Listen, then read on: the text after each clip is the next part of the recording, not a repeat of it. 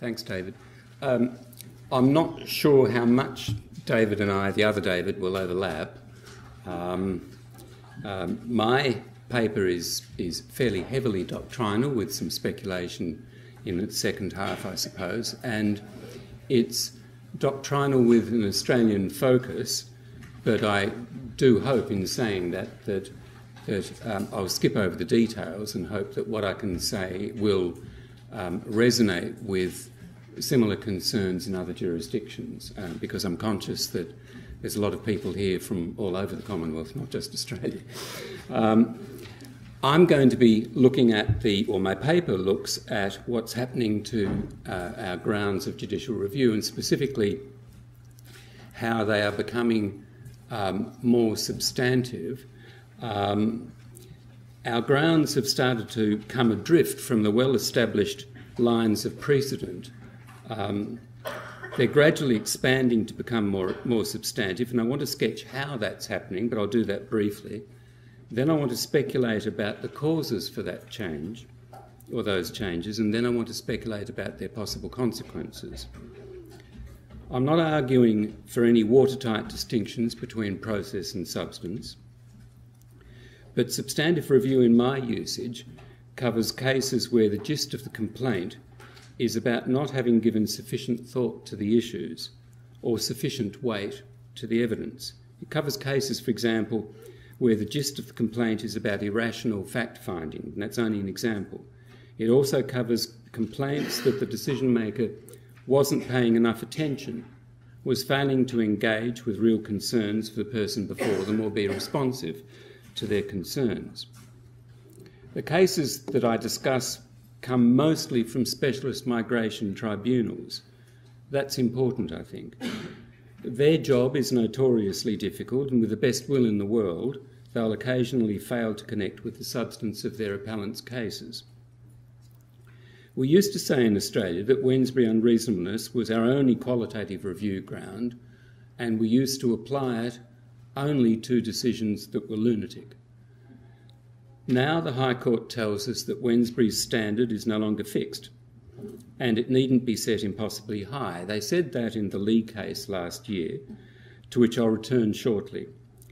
Of course, we've long had backdoor routes to substantive review, but disguise always has its own drawbacks. We're now becoming more overt. The first change is the loosening up of the formulaic grounds of review. Australian common law has for some time relied on rough and ready lists or catalogues of judicial review's review grounds. And where it applies, our statutory quasi code of judicial review repeats a good many of those common law grounds. And if you look at those lists and compare them with Lord Reed's speech in Minich, they're fairly recognisable. The lists give various ways in which a decision maker can, in Australia's rather quaint language, fall into jurisdictional error. However, starting with its 2010 decision in the Kirk case, the High Court's been telling us to loosen up on the catalogues. Kirk told us that the old lists are useful but not watertight, that there is no, quote, rigid taxonomy. That's come to stand for something much more than just a taxonomic disclaimer. Old grounds tend now to have less definable com- uh, content. Apparently, new grounds jostle for attention, or I'm not even sure whether some of those are separate grounds in their own right or simply manifestations of reinvigorated older grounds such as natural justice or Wednesbury unreasonableness. For present purposes, the principal doctrinal effect of loosening the catalogues has been to develop more possibilities for reviewing material errors of fact, at least where tribunals have made them.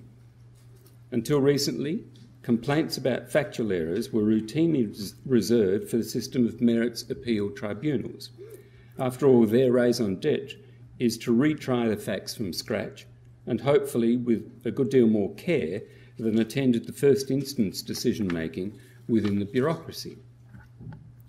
In other words, until recently, the distinction between errors of law and fact was fundamental, albeit not always determinative.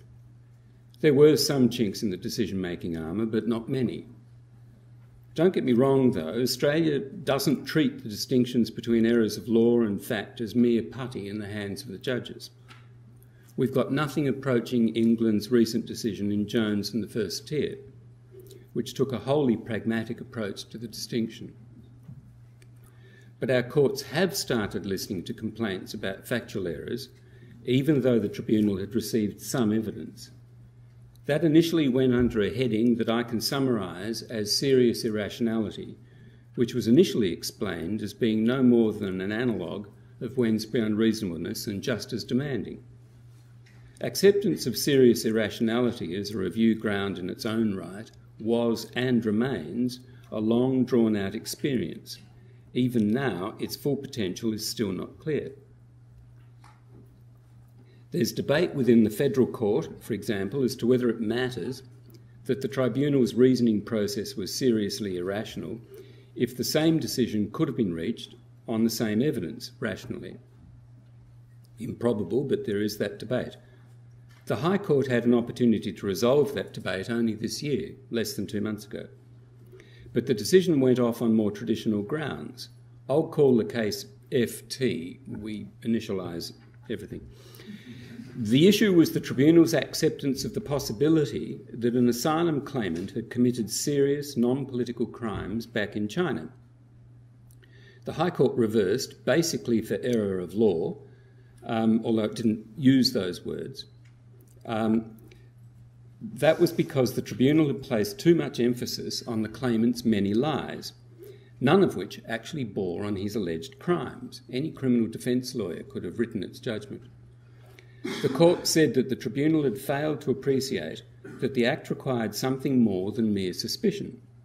My own view is that if that was an error of law, it could only have been because the tribunal's reliance on the man's lies was irrational.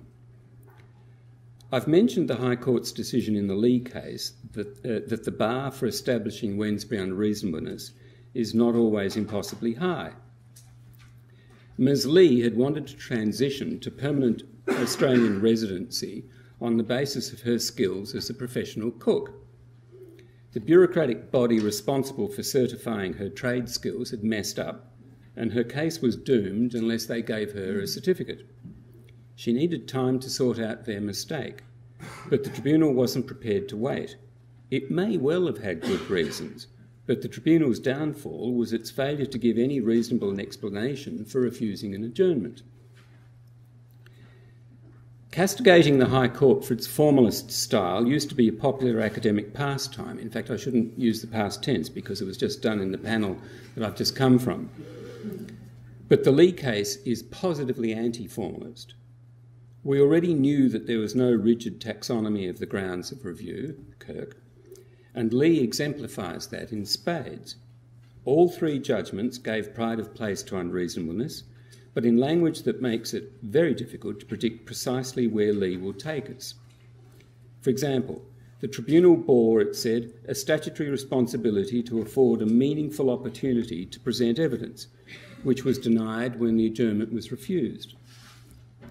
The requirement for a meaningful hearing goes back to a line of federal court cases that pivot from the statutory obligation to issue an invitation, that's the word, to the claimant to come along to the hearing. And of course, an invitation would be pointless without substantive requirements applying to the hearing itself. Lee also talked of procedural fairness and even a hint that proportionality review might have been available if only the point had been taken. In addition, Lee had some intriguing discussion of the Tribunal's statutory obligations to review the Department's decision and to determine the an appeal, all of those words from the Act. It was as if all of those words, invitation, review, determine, appeal, each one of them came loaded with an irreducible minimum of substance, a requirement of quality. Lee's definitely rocked the boat. Courts beneath the High Court are in no position to develop its proportionality hints. They wouldn't dare, I don't think. But the Federal Court in particular has already loosened up on review for error of fact. The fact has to be extremely important, of course, but there are no longer any categorical barriers to fact review. Error as to a perfectly trivial fact can be reviewable if it was central to the tribunal's reasoning. The tribunal in one case had treated a claimant as a complete liar because it thought it had caught him out in a very silly lie. He claimed to study Persian, even though he couldn't speak a word of it. But the tribunal had overlooked his academic transcript, which showed that he'd taken a course that was called Persian, which could, of course, been about Persian rather than a Persian language course. For the federal court, it all boiled down to two things. First, the gravity of the error, not its label. Secondly, the sense that the tribunal's job was to be more attentive than it was. The dominant theme in another set of cases might be summed up as a requirement that the tribunal intellectually engage with an appellant's materials and arguments. That's no mean task in immigration matters. The High Court said in one case that a tribunal breaches procedural fairness by failing, quote, to respond to a substantial, clearly articulated argument relying on established facts, close quotes. That was said before the, the court's overt expansion to substance, um, which probably explains the language of procedural fairness when procedure had nothing to do with it. But the federal court is now suggesting that procedural fairness might be the appropriate ground where a tribunal has been any one of the following things seriously irrational, or where it's failed to engage in an active intellectual process, or where it's failed to have given proper, genuine, and realistic consideration, close quotes, to a crucial issue. The Federal Court has also characterised a tribunal's hyper suspicious approach to an applicant's evidence as arbitrary capricious, and a failure to complete its task of examining all of her evidence. I don't have time to pursue the detail of these cases. More importantly, though, right now, no one can be sure where these changes will end up. Changes they are, however, and they might well start to have some effect on how the courts conceive their role in judicial review, how, in other words, they conceive their mission. My paper talks of mission creep, but I suspect that that term is more apposite to the English courts than to those in Australia, particularly after last night's discussion with David and John. Australia's review grounds have definitely become more fluid and more substantive, but our mission statements have scarcely changed. Our courts see statutory interpretation as their principal theoretical basis, however unsatisfactory that is, so their mission statements are all about enforcing the law, albeit a law that emerges from some very constructive statutory interpretation. That is now in stark contrast to some of the English statements where common law values appear to have been elevated to rules in their own right. English courts, according to Lord Phillips in Cart, are in partnership, his word, with the executive and legislative branches. Australian courts haven't used the language of partnership, and would see it as raising quite serious constitutional problems to do with the separation of, of the judicial power. Rather, we have interactions or relationships between the judicial and executive branches. Our interpretivist approach has profound consequences for the grounds of review, which can never be admitted to have travelled beyond the relevant act. We therefore have to focus on the grounds of review and on statutory terms such as invitation, hearing, review, and determine, and so on. I remember Mike Taggart being appalled at a High Court judgment that said that breach of good administration was not a review ground in its own right. He took it as meaning that the courts were unconcerned by bad administration, but he was obviously wrong. However, the Australian method of coming at that concern is necessarily different and more limited. Rule of law values certainly inform our grounds and inform statutory interpretation, but they aren't review grounds in their own right. The High Court's rejection of England's ex parte Coughlan case was emphatic and preemptive. The issue hadn't even been raised. My paper notes a comparative piece that Tom Poole wrote back in 2008, in which he took both Australia and England to task. England, because its decisions were becoming a sea of principle without rules, a situation where context was everything and judicial discretion was unconstrained. Australia, because it was awash with rules unguided by principles. He implied that there was a happy medium somewhere in the middle between principles and rules. I take the Lee decision as the first unequivocal move to that middle ground in Australia. Lee's tribunal had a statute telling it to be fair, just, economical, informal, and quick, and to decide, quote, according to substantial justice and the merits of the case. Lee saw those largely substantive obligations as informing the tribunal's procedural duties, but frankly, provisions like that have been around for centuries before their indirect use in Lee. Okay, I turn now to speculate on why these changes have been happening. One of my colleagues suggested that it might have been the High Court reacting to sustained criticisms of its dry formalism. Frankly, I doubt it. Nor would I place much reliance on Australia's mission statements for judicial review. England's expansive mission statements might well have had some feedback effect on its doctrine, but Australia's grand statements have hardly changed. I think that the reasons are considerably further away from the realm of high theory. First, there are the all pervasive statutory duties to supply reasons. These have to demonstrate a factual basis for the end decision, and whether they've done that adequately is obviously a qualitative or substantive inquiry. Secondly, the judicialisation of our tribunals has gone hand in hand with the expansion of substantive review. There's a degree of cause and effect there, of course, but almost all of my cases, including the leading cases, have had to do with, deci- with decisions of formal tribunals. True, they are in many respects significantly different from courts, but they're significantly similar too. And decisions like Lee and FT concerned issues well within any ordinary court's expertise. Lee was about an unfair refusal to adjourn, whilst FT was about drawing too long a bow from the fact that an accused had lied on something entirely peripheral. I could have explored several other factors that might help to explain the expansion of substantive review in Australia. But for me, the really big surprise was to see, with Grant Hooper's help actually, PhD student, that I could join up the dots between sustained legislative attempts to reduce judicial review on the one hand and the grounds of review actually expanding. In other words, highly restrictive legislation in migration appears to have backfired. I won't give you chapter and verse. The headnote version will tell the story today. Judicial review mushroomed into a growth industry in the 80s, starting in the 90s, but only in migration.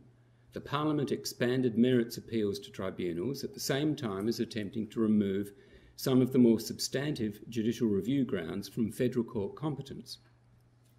The cutbacks included Wednesbury unreasonableness, irrelevant considerations, and procedural fairness.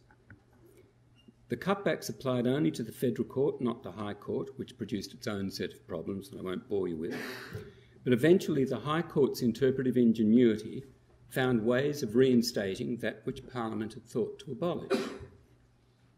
Parliament eventually gave up on trying to restrict specific review grounds. The whole exercise had become too slippery. It sought to rely on a privative clause, but the court made quick work of that. In migration matters, but once again only migration, jurisdictional error is now all that remains as far as federal judicial review is concerned. And for Australia, jurisdictional error is purely a conclusory term for the sorts of things that normally result in, in invalidity. The great paradox in all of this is not the switch in legislative tactics, but in the backfire that the previous tactics had produced. It was as if the Parliament's focus on judicial review's grounds had actually started the High Court down its substantive road. And it was in this period that the courts started infusing the Act's procedural requirements with substantive content. Procedural requirements, such as, for example, the duty to issue an invitation to attend the hearing. So, my last question today is about the overall effects that these doctrinal changes might have for the actual practice of judicial review litigation. First, and most obviously, any a priori notion of the merits is in retreat. We've never had a watertight definition of the merits, of course, but we generally knew that they included the facts that might be in dispute. Secondly, Overreach inevitably accompanies every doctrinal expansion, especially those that are expressed so generally. The traditional antidotes used to be the remedial discretion, and we, we might well see a lot more of, the, of that discretion. But the courts will also have to do a lot more evaluation of the gravity of any error that's been demonstrated, and that will make their decisions even more context specific. Thirdly, our grounds of review have certainly loosened up, but they remain as a real presence. Our statutory quasi code, where it applies, which is not migration, retains the old list of review grounds, and the Administrative Review Council appears to have seen off an argument to reformulate or even repeal the old grounds. However, I suspect that at least in its migration jurisdiction, but only where the gist of the complaint is a serious factual error, the federal court is no longer interested in the old labels. Whether old or new, it's what lies behind the labels that, ma- that now matters, not whether it's appropriate to be talking about unreasonableness or serious irrationality or procedural fairness, for example. Lastly, I think that the actual practice of judicial review is bound to become less predictable, particularly for government counsel. I'm not saying that that's all bad. I never understood why rationality review was off limits with regard to tribunals. One of the main reasons we have tribunals is to have a second and more careful look at the facts than it's reasonable to expect from bureaucrats. That's a tribunal's job, so why not enforce it? But it's obvious that government counsel must now be prepared to defend the quality of fact finding, and that is evidently creating real uncertainty as to how far one might be allowed to go in challenging and defending the evidence. Thank you.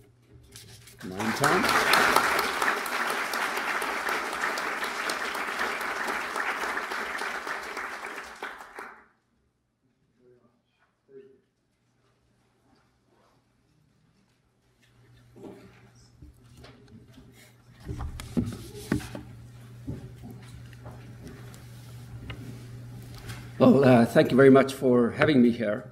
There was some uh, minor concern about whether there'd be any overlap between uh, our two papers, but actually, I think there's an overlap between all of the papers at this conference.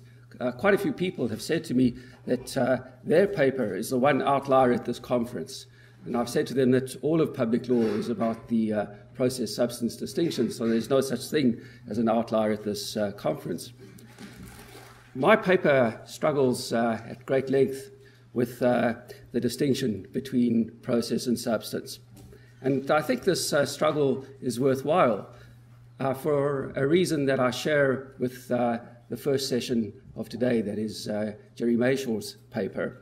And that is, I think that if we can make sense of this distinction, we might understand why the rule of law in public law is the rule of a special kind of reason, that is public reason. And I think that uh, Jerry and I share a sense that administrative law, uh, contrary to its reputation sometimes, as a kind of uh, lawless void in which the despots of the state reign, contrary to that reputation, uh, administrative law is uh, the place where public reason is most at home. And that's something like a quote from an article uh, from, by Jerry that he published some years ago. In past work, though, I argued that lawyers would better be not so distracted by the public process distinction. We value process, after all, for substantive reasons, and we wouldn't value process for substantive reasons if it didn't have uh, substantive implications when we abide by it. Hence, I suggested in past work that we should focus on substance. And there's something uh, like a quote to this effect buried in a footnote in uh, Paul Daly's paper. However, coming back to this distinction, I thought I would make the struggle to understand it even harder by introducing a third term into the debate, and that is uh, form. And my claim in the paper is that we need to understand this for, uh, term, the term form, in order to make sense of the uh, distinction, since uh, process and substance are just two aspects of the form that uh, policy has to take in becoming public law. Now, the claim that what we need is a formal theory of public law will strike uh, people as odd for uh, several uh, quite good reasons. First, uh, formalism in public law is often associated with an idea of uh, a rigid separation of powers. That's widely rejected. Parliament makes law, judges find out what, in fact, the intention was that was in the law, and then ensure that when officials implement the law, they stay within the confines of that factual intent. Second, form is often considered not worth inquiring into because form is more or less synonymous with process. Think of the term uh, rules of manner and form. And third, To the extent that the idea of legal form is taken seriously in uh, scholarship these days, it's taken seriously in uh, private law. And that's because of the work done by uh, one of my colleagues, uh, Ernie Weinrib, who's uh, pioneered a theory of private law in which we have to understand the structure of private law by looking to the formal features of a private law regime. The argument is that if one looks at those formal features, one will find that in private law is an immanent morality organized around the Kantian idea of the purposive agent, whose freedom to enact his own purposes has to be made consistent with the freedom of all other agents. And Ernie and others at my law school have now started to argue that that same Kantian idea underpins uh, public law. And uh, something like this idea, I think, is also uh, the basis for Trevor Allan's uh, recent, very powerful version of the moral foundation of the common law constitution. Now, I am interested in this idea of form, but I don't think it's intuitively well suited to public law, vulnerable as it is to the critique of people I'll call uh, democratic proceduralists who will see formalism of this sort in public law as a kind of covert libertarianism. And I was reminded in the last session by Mark Walters of a phrase that Carol Harlow coined, I think, that what one ends up with is a private law conception of public law, and that wouldn't be a good thing. And so I'm very sympathetic to this critique, and so I wonder why I'm coming in uh, my old age to the siren song of uh, formalism. It can't just be something in the drinking water because uh, Bob Sharpe, a former colleague, managed to resist it. Uh, Kent Roach, a much better public lawyer than I am, has managed to avoid becoming a Toronto formalist. So I have to provide some kind of explanation other than uh, the drinking water, and my paper is a first attempt at this uh, explanation. The attempt takes me back to a public law conference in uh, Cambridge some 14 years ago. And just as an aside, if there were uh, academic medals awarded for valor under fire, then the person who would have got uh, that medal at the conference was a much younger uh, Mark Elliott, who withstood uh, the fire directed at him uh, by Paul Craig. And I, I, I, was reminded of this just because my essay at, or my paper for that conference focused on one of Paul's essays, the very influential paper called Formal and Substantive Conceptions of the Rule of Law and Analytical Framework. And having worked my way now through uh, Paul's argument a second time, I think I appreciate better uh, what he was getting at in that paper, although, as uh, you'll hear, I still reject uh, parts of his argument. And I appreciate it better because I think that he did valuable service in trying to explain why public lawyers have to take the idea of form seriously. Now, in that paper, Craig, following uh, Joseph Raz's analysis of the rule of law, identifies these are my terms, uh, not uh, Paul's, but I'm going to foist them on him. He identifies four different conceptions of form. So, form is first a property of a theory of the rule of law that is independent of political theory and takes no stand on the issue whether the content of the law is good or bad. So I'll call this uh, form as independence. Second, uh, formal theory focuses on marks of law that have to do not with law's substance, but with law's validity, whether the person or body who made the law was entitled to do so. And I shall call this form as pedigree, as it has to do with the manner in which the law came about and not with its content. The third sense, I'm sorry about this proliferation of senses, has to do with the clarity of the law that is promulgated, and it does have to do with content. The law must have a content that is clear enough to guide those who are subject to it. However, this uh, third conception does not specify what the content is, only that the content is determinable as a matter of fact. So I will call this uh, form as fact. Finally, there are characteristics of law that have to do not with its content, nor with its pedigree, but with the legal quality of the law that is produced by those who have authority to make law. For example, that the law is directed at future conduct. And I shall call these characteristics uh, form as legality. I think that all of these conceptions of form are important if we're going to develop a formal theory of public law. But I think that uh, where uh, Paul Craig goes wrong is in his understanding of uh, the way that those uh, four conceptions work together. He does see, to some extent, the point I want to make in my paper today, when he suggests right at the end of his paper that the phrase the rule of law is dependent upon what one understands by the term law, and says that what ultimately divides the formalist and substantive conceptions of the rule of law is disagreement about the way in which we identify legal norms. Now, he's right about that, but he doesn't appreciate, I think, that the positivist understanding of form as fact, which he takes over from uh, Joseph Raz, distorts its understanding of the other three conceptions of form. In particular, he follows Raz in supposing that when the content of the law can't be determined by factual tests, the law in the matter is unsettled. But he does not present us with an argument for this claim. Perhaps he doesn't do so because he took for granted that uh, Raz had provided such an argument.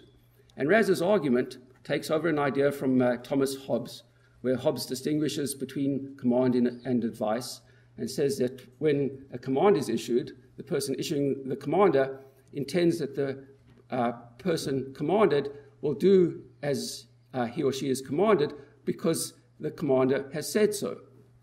Whereas with uh, advice, advice is offered to the subject to evaluate for him or herself. So it's not the say so of the person who offers advice that triggers action, it's the uh, evaluative uh, decision of the person to whom the uh, advice was offered. And according to Raz, if we're going to make sense of this kind of distinction, the content of the command or of the law has to be determinable as a matter of fact, without relying on, to use Raz's term, moral acumen. But one can respect the distinction between command and advice and suppose that moral acumen is required to work out the content of the command. If we take, for example, uh, Dworkin's interpretive theory, on that theory, judges interpret the law in a way that seeks to show the law in its best moral light. Having gone through that process of interpretation, it might turn out that the result is morally far from ideal, even morally ill advised or worse, even though we had to use moral acumen to work out the content of the law. And still, when we act in accordance with the law, having used moral acumen to work out its content, we are uh, acting because the law told us so to do. And that leaves intact the distinction between command and advice. And indeed, Hobbes himself thought that his distinction between command and advice was perfectly consistent with the claim that one needs moral acumen to work out the content of the law. For Hobbes thought that the content of the law has to be worked out in accordance with uh, no less than 19 laws of nature that he sets out in Leviathan. Moreover, Hobbes thought that his distinction between command and advice is consistent with the view that an authority is such only if there is a basis for holding that legal subjects are under a prior obligation to obey the authority. Now, in my view, these two issues are connected, in that one of the reasons that one has a prior obligation to obey legal authority is that legal authority is constituted in such a way that its exercise is conditioned by Hobbes's laws of nature. And I argue in other work that if we try, if we want to understand what Hobbes had in mind by the laws of nature, it's pretty well what we think of today as uh, principles of uh, legality. They are what we more readily think of today as principles of legality or of government according to law. Put differently, principles of legality constitute the form government takes when government is according to law. And together, such principles, in my view, provide the basis for the construction of a formal theory of public law. And once one sees this, I think one can also see that in, at stake in debates about what the form is of uh, public law are rival substantive arguments in political theory. Form as independence does require that one's theory of the rule of law is not reducible to the theory that one uses to judge whether the content of the law is good or bad. But when it comes to form as fact, the positivist version of this uh, conception can't be defended by appeal to the very idea of authority. It can only be defended by the kind of uh, substantive argument that Hart's and Raz's positivist predecessors, Bentham and Austin, provided, which requires that the determination of overall utility that's made in the legislature be transmitted by the legal order to legal subjects without contamination by the judge's sense of right and wrong. I think it's in that historical context that the idea is formed that uh, contemporary legal positivists then take over without, in a way, noticing the substantive arguments that go behind uh, uh, that idea of form. And though that idea of form in, and its substantive arguments in turn shapes the conception of form as, as pedigree. If judges and other legal officials are to avoid superimposing their moral views on the content of the law as determined by the legislature, they should stick to tests that have to do not only with the manner in which the law was, that have to do only, sorry, with the manner in which the law was promulgated, but also have to, uh, which also sustain a claim about what that person or set of persons, as a matter of fact, intended. Similarly, when it comes to form as legality, whatever principles of legality are identified, their function is to help in ensuring that a factual content which has been produced is identified with the fact, factual content that uh, those who made the law intended the law to have. In my view, Lon Fuller's account of the eight principles that together make up an inner morality of law updates for the 20th century Hobbes's account of the laws of nature. These eight principles are, I think, best understood as formal principles of the rule of law. But it's important to see that the formal principles require supplementation by procedural principles in order to be given effect, and that they have substantive implications. So, first, in regard to process. In Fuller's essay, The Forms and Limits of Adjudication, he emphasizes the importance of impartial adjudicators in a rule of law order, in which the issues submitted to the adjudicators, quoting from Fuller, tend to be converted into a claim of right or an accusation of guilt. This conversion, Fuller goes on, is affected by the institutional framework within which both the litigant and the adjudicator function. The process of reasoned argument requires the person making the argument to present it as more than a naked demand. It has to be presented as a claim of right, Fuller says, as supported by a principle. That describes what we can think of as the adjudicative conversion process, where the law is converted into a claim of right. But in order for that conversion process to take place, the enacted law has to be convertible, and that requires a prior legislative conversion process. This legislative conversion process involves the reduction of a political program to the explicit terms of a statute, and thus a conversion of political policy into public legal standards. And that produces what I call a kind of legal uh, surplus value. By this I mean that the legitimacy of official action in compliance with a statute does not simply stem from its compliance with a political policy that the demos has determined to be appropriate. It is also the case that this conversion process adds value because it brings into being a particular kind of public standard, one that permits the operation of the principles identified by Fuller as the principles of legality and which enables claims of right based on legal principle to be adjudicated.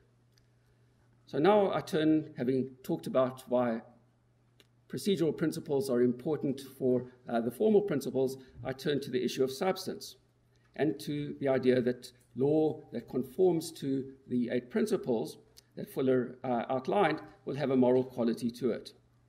The moral quality of the content of the law comes about because that content can be presented as offering reasons to legal subjects in a way that makes it plausible for them to understand the law as responsive to, and this is again a phrase from Fuller, responsive to their dignity as responsible agents. Even if they think that the content of the law should be very different from the content it has been determined to have, the fact that the content offers them reasons of this sort constitutes a reason within their own perspective to grant the law its moral quality or, better, its legitimacy. So, in sum, I want to suggest in my paper that the formal principles are at the basis of law's claim to legitimate authority.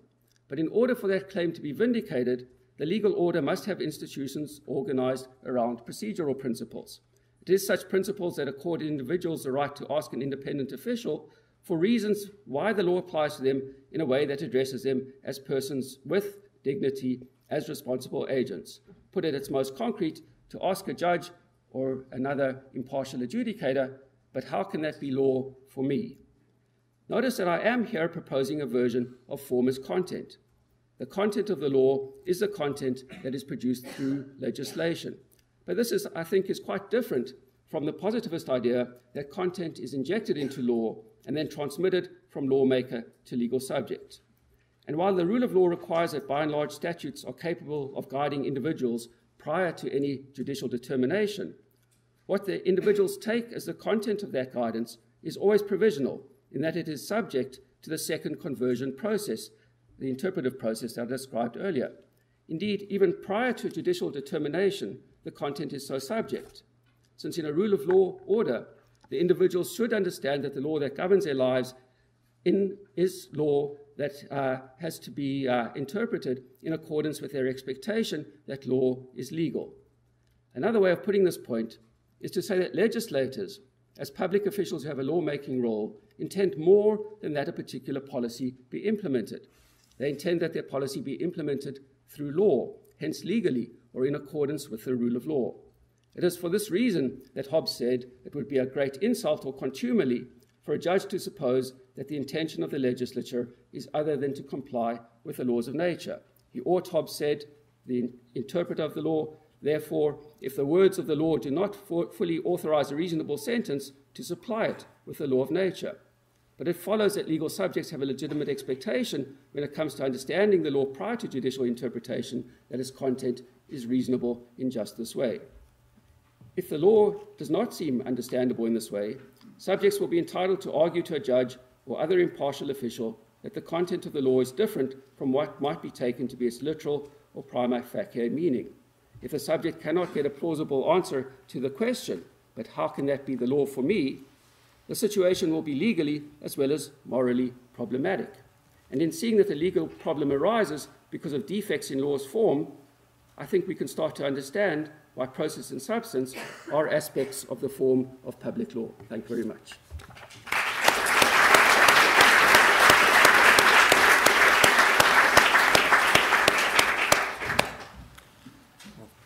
Thank you very much, uh, David and Mark. Two very different but uh, extremely stimulating uh, presentations.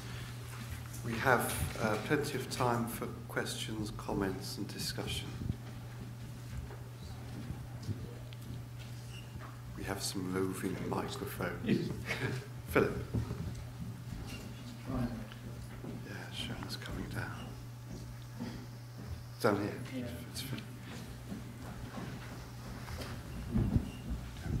Hello, Philip Murray, University of Cambridge. Um, it's a question for David Dyzenhaus, and I was just interested um, with your use of Fuller's et desiderata and your argument that if law adheres to Fuller's et desiderata, then it will have some moral quality to it. Now, I learned jurisprudence in this university, and I was lectured in this lecture theatre by Nigel Simmonds, and he makes a very similar argument but it's quite different at the same time. So Nigel Simmonds argues, and I'm bastardizing his um, argument a little bit, that if law adheres to these desiderata, then it will have a moral quality to it because it manages to secure for the citizen a degree of independence from the will of others. And I just wondered what you thought about that argument and how you see it fitting with your own. So, uh,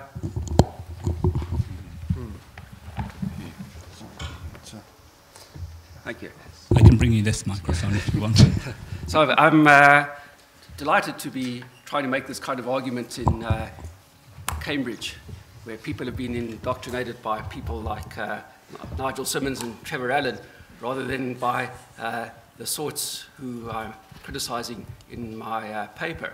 So someone uh, sitting in this audience once, actually just a couple of months ago, accused me of having a love-hate relationship with legal positivism. But that's actually a, a love uh, relationship. I love legal positivism, but I think that they don't really understand their position correctly. And, uh, I, and I, I, think that if we uh, can, uh, if we disinter from uh, the kind of analytical framework that covers uh, the real work that's done by legal positivism, if we disinter from that framework, the, their understanding of legality, we'll find that there's actually not very much difference between their understanding of legality and, say, Fuller's. And I also think that, uh, for the most part, legal positivists, despite the fact that they try to disclaim this, uh, do think that uh, law has the kind of moral quality to it that I claim. Now, I say all of that because that's really the uh, strategy of my paper is to try to uh, bring about a, a, a, kind of rapprochement between legal positivism and uh, some of the uh, legal positivist uh, critics. But I don't actually disagree with uh, Nigel's uh, argument. I, I pretty well accept it. And I do think that one of the features that law has in having this moral quality that comes about through its conformity to uh, the eight principles is that it does uh, bring about a, uh, condition of uh, liberty for those who are subject to the uh, law. And I think that condition of liberty is best understood as liberty as independence. So it's just, that wasn't my argument in this paper. So long answer to say, actually, I'm in full agreement with Nigel. Thank you.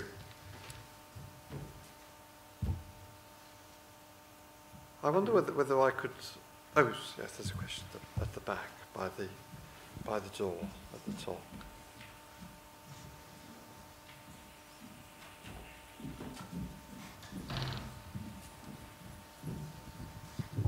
Uh, Tom, Tom Hickman, UCL.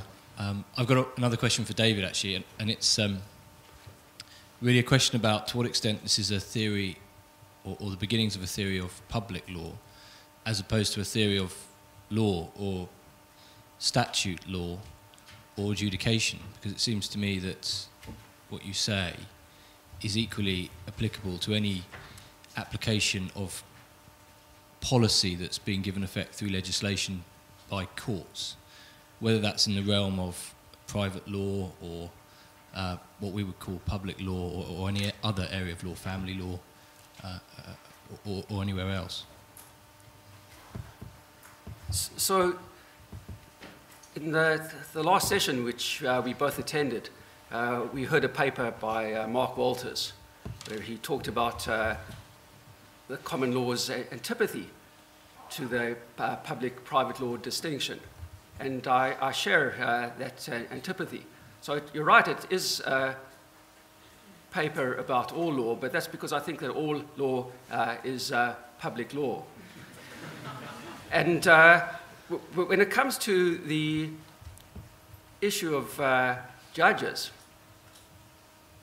so, so, so, so let, let, me say something prior to that. So, but I, I think that in, in, in, in, putting together a theory of law, one should uh, see law as many uh, people on the continent understand it, as, uh, as, as something that can't be understood unless one understands it in relation to the state. So a theory of law is always also a theory about the state. And in that theory, judges have a role, but they might not have uh, the kind of role that one sometimes finds in uh, legal theory, most prominently uh, in uh, Ronald Dworkin's theory or uh, in Trevor Allan's theory.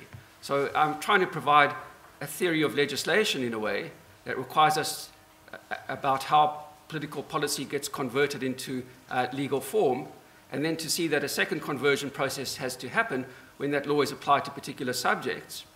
And in that application, we need impartial adjudicators uh, for various reasons. But the theory doesn't start with judges, it starts with uh, public law. I wonder, I wonder whether I could, I could um, ask a supplementary to that one, which might bring the two of you into engagement with each other. Um, if this is going to be a theory of legislation, Uh, and I take your two-stage process uh, on board.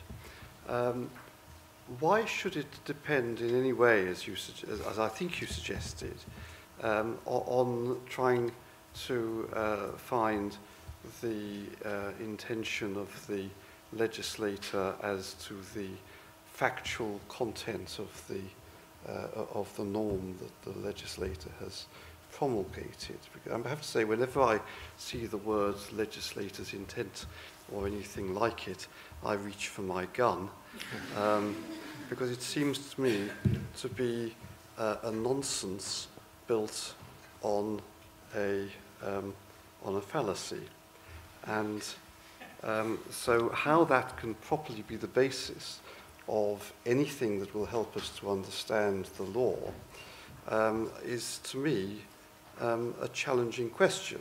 Now, Mark's paper um, uh, was, in a way, an approach to this from a different direction when you were talking about the way in which, in at least in migration cases, attempts by the Australian legislature to restrict the scope of judicial mm. review had had the paradoxical but not to me at all surprising effect of leading to an expansion of the scope of judicial review.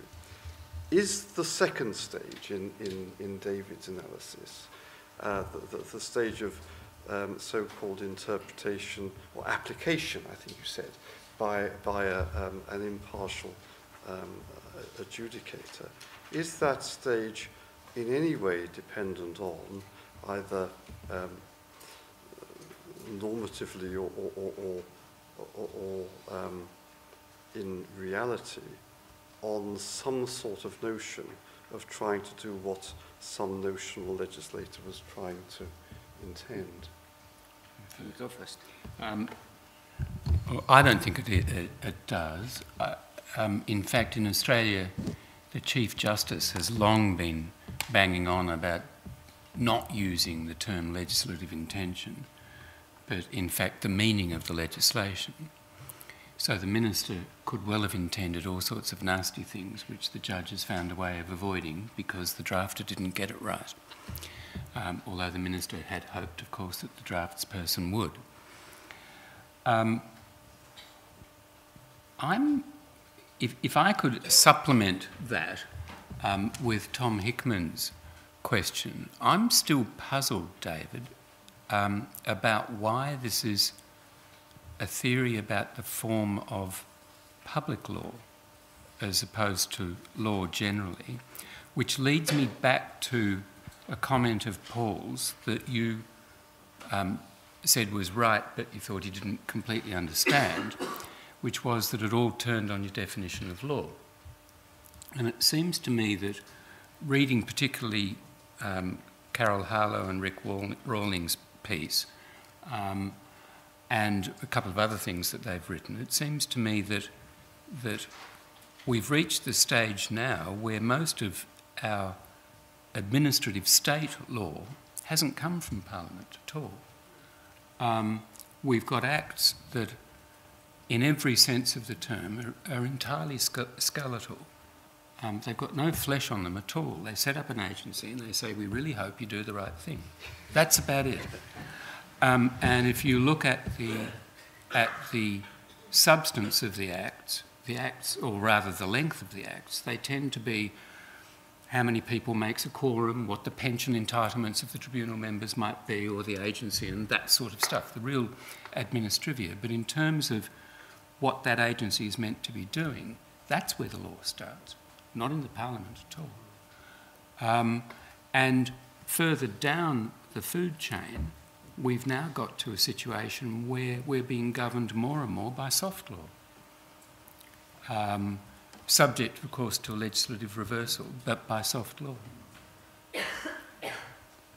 Right. So, so if I gave the impression that I endorsed the view that there's a fact to be determined in uh, statutes uh, as to the intention of the legislature, I shouldn't have uh, done what I did to give rise to that impression, because I reject that view completely.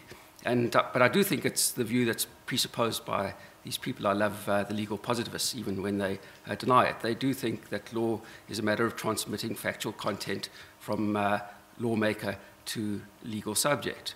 So I think that to the extent that the idea of intention is a useful idea, we have to understand uh, intention as a matter of construction.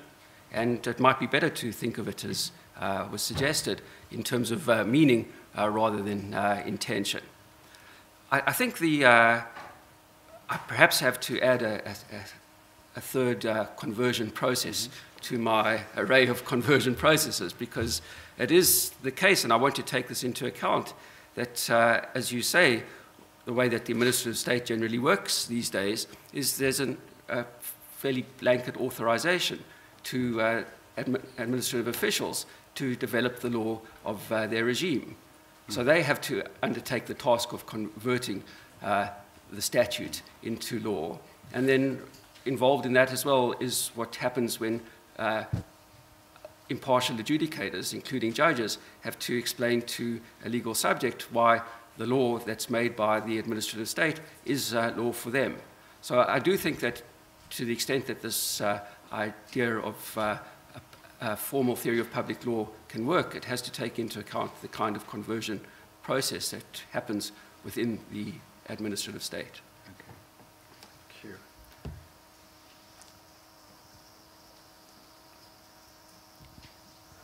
Jason.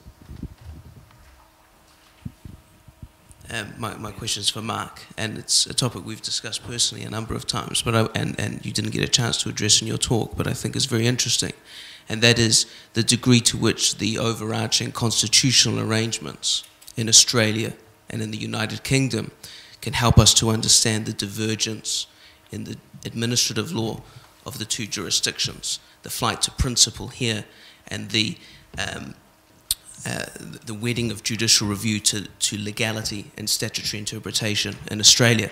It's a potentially wide question, so feel free to narrow it as much as you like. It's a heck of a wide question. Um, I've, I've long thought that the, that the Australian judges haven't owned up to how much they put into a statute and how much they say they're just taking as meaning of the statute. Um, and in a way, it's my interpretation, and I'm not sure whether this is entirely fair, but my interpretation is that they don't want any part of that long drawn out ultra vires debate that we all looked on from Australia that was occurring in England with absolute puzzlement. Um, so they've eventually settled for something um, that they've not called modified ultra vires, but that's what they've settled for. Um, eventually, that's going to come unstuck, of course, because they'll come up against a, an exercise of executive non statutory power and they're just going to have to confront that. Um, but I suspect that what's done under the, so far, under the umbrella of, of interpretation, of statutory interpretation, is not really believed. Um, it's in a sense required, and my co-author Matthew Groves has argued this a number of times, it's essentially required by their division between the judicial and the other powers under the Constitution. And Matthew argues, or I think I'm not verbling you, um, that it's part of the deal, that the judges get their independence and um, um impartiality and so forth and conditions on the basis that, that they adhere to an interpretivist theory. Um, does that answer it? Partly. is, is, there a difference for the, oh sorry, take, the question over, over there. There was one yeah. over there first. Oh, was that, sorry, yes. Thank you, David. Uh, Paul Daly from the University of Montreal. I had a question for, um, for Mark, um, and it was about your reference to mission statements and uh, the distinction in Australia, I think, between legality and merits. And Lord Justice Laws last night spoke about ensuring that um, administrators uh, are not out with the, the, prop, the boundaries of the proper use of powers. And I was wondering if you could expand on what I sense uh, to be a little bit of cynicism about uh, such general mission statements. Do you think they have any utility, any, um, any uh, conceptual utility, um, or uh, is what is needed for us to dig down, as you did, and look at particular developments in the law and try and identify the causes and effect? Um, I'm, I'm conscious that there's people from quite a few countries here, and they're countries with stable um, regimes, um, stable legal systems and administrative systems that work sometimes with the same words but with different meanings, um, and different constitutional structures and setups. I'm conscious, therefore, that what I find strange, going back to Lord Diplock, I think, um, you know, his tripartite summary, you must obey the law and act reasonably and fairly, or something like that. Um, I'm thinking, hang on a minute, he's gone two steps beyond the law. Um, and they keep doing it in England. And my, my Australian reaction to that is, what on earth are they doing? But then a comparativist reaction to that is, well, if it's working. Um, so I think you've asked a question of me that, that doesn't admit of a grand answer. I think that, it, that the answer depends on the country you're, you're supposing. Thank you. Joe McIntyre, Charles Darwin University. I just want to pick up, Mark, on that point I think that Jason was alluding to. That part of that distinction between the English approach to principles and the Australian retreat to statutory interpretation might reflect a lingering effect of Owen Dixon's formal legalism in Australia that really did seem to hold on and hold the public imagination of the judge much longer in Australia than here in England, where the judges, I think of Lord Reid's um, comments about Aladdin's Cave, were much quicker to acknowledge the role of policy and abandon those old, those old formalist regimes. So I wonder if some of that distinction and that approach towards using statutory interpretation might be part of that different uh, origins and conceptions of that role of the judge in those constitutional setups. Oh, I think that's right. Um, my my um, response, though, in substance, is that styles can be radically different, but um, outcomes can, can be remarkably similar. Um, so you talked about a retreat to formalism and statutory interpretation. If you look at the outcomes, um, they're generally very similar. They're generally trying to, to deliver, and this is what judges should do, individual justice, um, as, as they see it, according to a, a bunch of legal values. Okay. There's a question from Rick down here in the middle.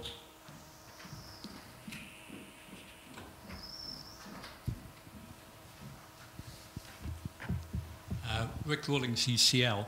Um, following on Jason's remark, I'm not sure I, I know what the UK constitutional framework is anymore. I, I went to bed thinking I knew what it was, but then I woke up this morning and it seemed to have changed overnight.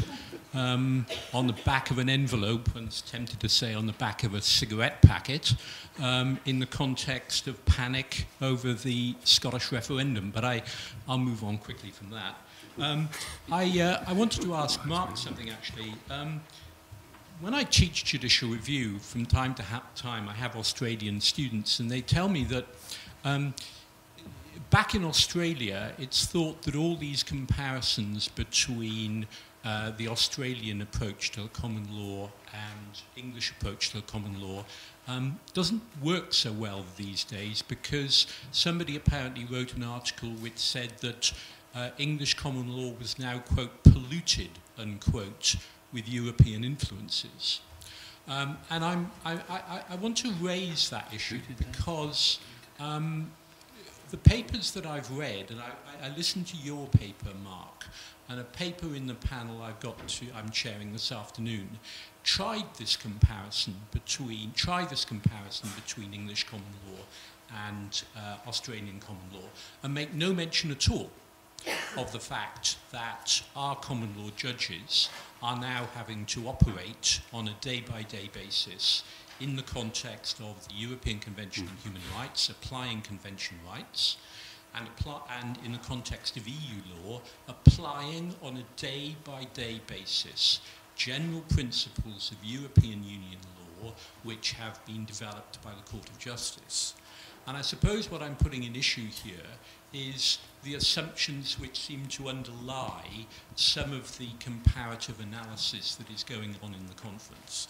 To what extent can one now really uh, engage in the form of analysis you know, that, that, that, that, that, we've been, that we've been listening to, which puts to one side the effects of these European influences on English common law? I agree completely the context is the, the constitutional whatever that means, structure um, is so rad- the, the lawmaking structure is so radically different here um, that all sorts of adjustments have to have been made and will have knock-on effects.